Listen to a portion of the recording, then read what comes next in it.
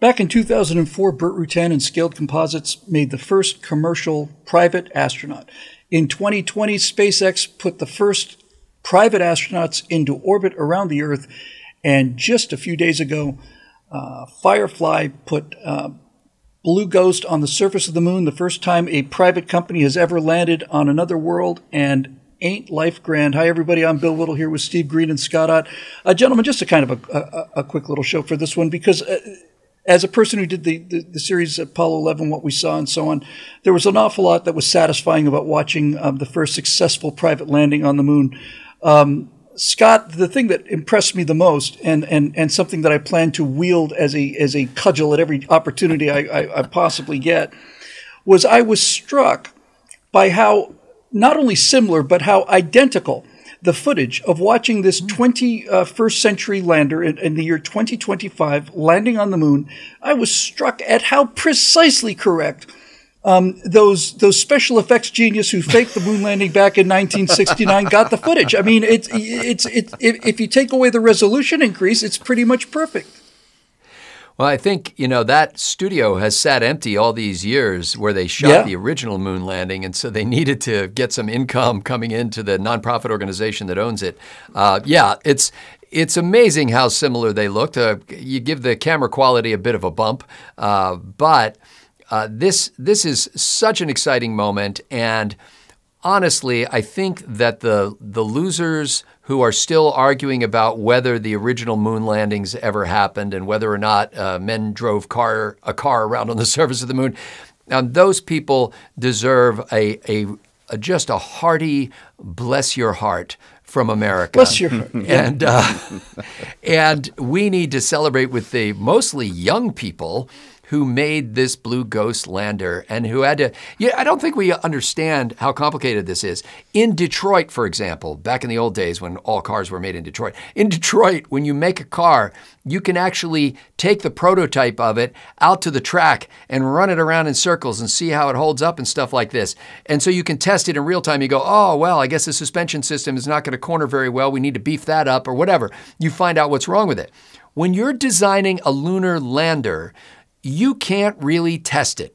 I mean, you can run tests on it, but you can't actually put it in the, uh, I was going to say real world, but you can't put it in real lunar situations and see how it's going to perform in that particular kind of very, very thin atmosphere, in that particular kind of regolith, the soil that the pads meet when they hit the surface of the moon. All of this, all you have to go on is the previous experience of NASA, and I'm sure they heavily read all the accounts of that and watched all the videos and got everything they could, but you, you have to basically imagine it. And that's, right. I think, the magic of this generation of space explorers, these private space explorers, is they combine engineering know-how with vibrant imaginations, in many cases fueled by sci-fi novels they read as kids, and they have achieved a phenomenal first step in what is eventually going to be colonization of the moon and using the moon as a platform for further exploration out into space. And the single most impressive ingredient on the Blue Ghost lander is the fact that it was private money. Yeah. That's the that's the ingredient that that uh, that I'm interested in. Um, Steve, if uh, unless I heard incorrectly, there's another one in orbit around the moon now, getting ready to uh, make a, a landing it's, attempt. It's on its way. Yeah, it, uh, it's a Japanese lander. I can't remember the name of it. I, I apologize because is it? The, I thought these, it was a private American company. Is this another? No, isn't this the IM2, Steve? The it is. Okay. Oh, that one. It's, oh, okay. Yeah, yeah the yeah, first yeah. one. Okay. The first one burned down, fell over, and went into the swamp. Blue Ghost, but it's on a much longer trip to the moon, and it won't get there for another month or two. I can't remember how long now. But is that Japanese one privately owned? I believe. I think so. it's pri- uh, well. Then great, even better. I so, Steve, remember. here's here's your question. Um, we had the first landing attempt that uh, landed on the uh, on the moon. Like I said, burned down, fell over, and, and fell into the swamp. But it, it landed on the moon. Um, uh, we've we've achieved a success, full success with um, with the Blue Ghost lander. Uh, at least one, maybe two more are on the way. And you know what makes me happiest about these three uh, uh private um, moon landing uh, vehicles is is that none of them are SpaceX. Yeah. Yeah. Oh no, that's huge. We uh, so Elon Musk's reason for wanting to get us onto Mars is he doesn't want all of humanity's eggs in one basket. This beautiful Right. blue marble Earth because what what happens if we screw it up or something happens, and you don't want to put all of your your launch eggs in one company's basket, SpaceX.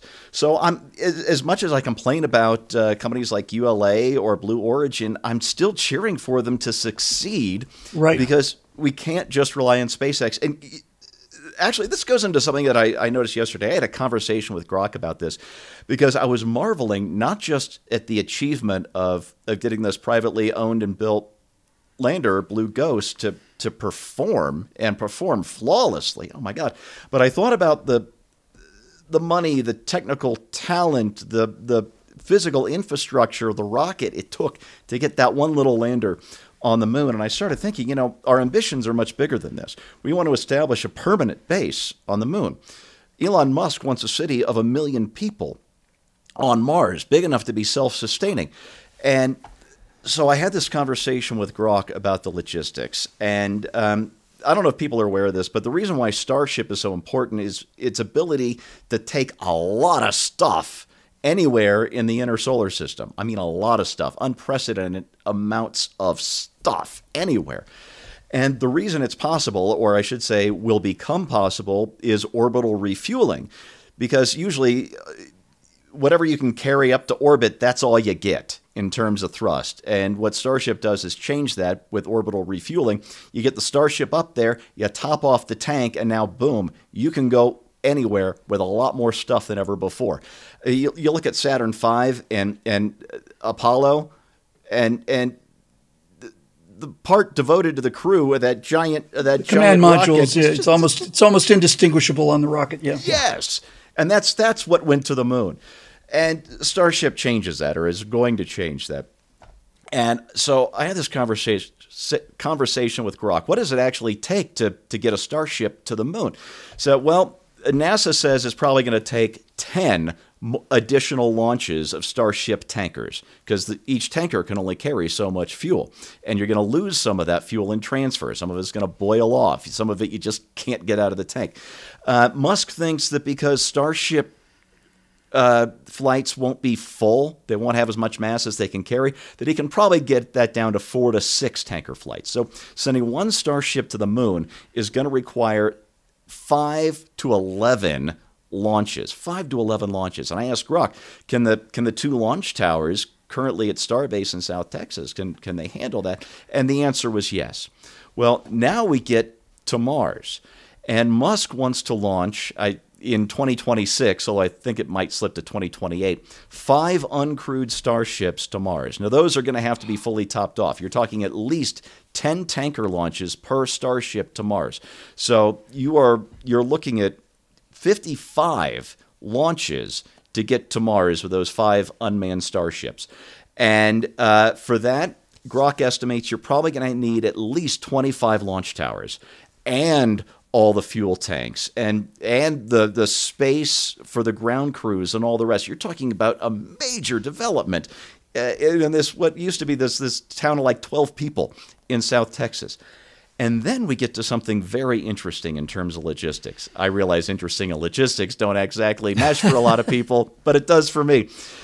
So the goal to get a million people on Mars is going to require, and again, this is according to SpaceX, approximately 1,000 starships per 60 day launch window every 26 months. Now, according to Grok, if they can get turnaround times on these tankers down to, to, to, to once or, or twice a day, you're still going to need, depending on your assumptions, anywhere between about 180 and over 700 launch towers and all the ground crews and storage tanks and all the rest to make this possible. It's insane. The investments in in in the physical infrastructure, the the ground crews that are going to have to be uh, trained, the, the the just the intellectual work it's going to take to get this done, and yet that's the level that Elon Musk is dreaming on, and it all started with that that that that that tiny little tip of a Saturn V rocket, and now we're talking about launching a thousand of them, thousands of them in the space of 60 days. Wow. Imagine that. Thank you for that astonishingly uh, cool breakdown of, of, what SpaceX is doing. But like I said, my favorite part of this landing is that it wasn't SpaceX. Yeah. Um, and, and this is this is the point. Sorry, I got I got derailed. No, no, no. I'm not trying. To, I'm not trying to. Uh, uh, uh, on the contrary, I, I'm glad you. I'm glad you went into that kind of detail because because the entire point of this is is that the secret to opening up uh, the the final frontier is private enterprise starting well, you can say that Firefly didn't start exactly very small. They put the they put the first private lander on the moon. My entire point is Firefly is probably where SpaceX was in what 2009 or something along those lines or 12 or something like that. All of these companies now are springing up. SpaceX has shown that you can make a lot of money. In fact, you can make the world's richest man if you if you take the spaceflight vision seriously.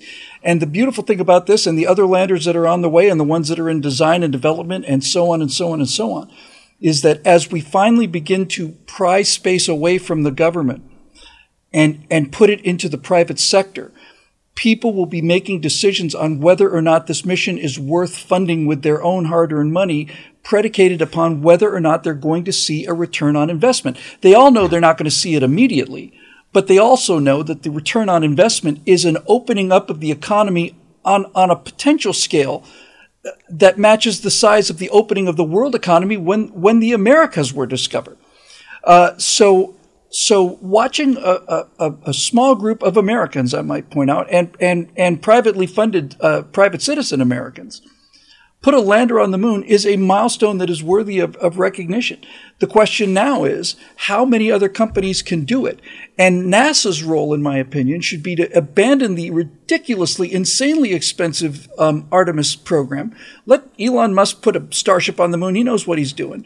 And, and take the money that we were spending on, on manned spaceflight through the inefficiency of the government and invest it in, in these small companies, especially in terms of prizes. The great thing about a prize is if you put a $20 million prize on landing on the moon, you will get a $20 million investment and five companies will get that $20 million investment and one of them will get the prize and you get all of these different opportunities. So it was just great. I'll just close by saying that the landing footage that you see here is, uh, is very dramatic with the earth in the background, nice round earth to, uh, to, uh, convince the people who are sure of the flat earth that the round earth is there. The dust behaves behaves the way the dust behaved on the Apollo landings, the, the, the shutdown procedures, the, the, the final approach, all of it. Um, if this is not enough to convince you that it actually happened in 1969 and then in 70, 71, and finally 72, then um, your window of disbelief is getting smaller. Let's just put it that way. For Steve Green and Scott Ott, I'm Bill Whittle. Thanks for joining us, and we'll see you next time right here on Right Angle.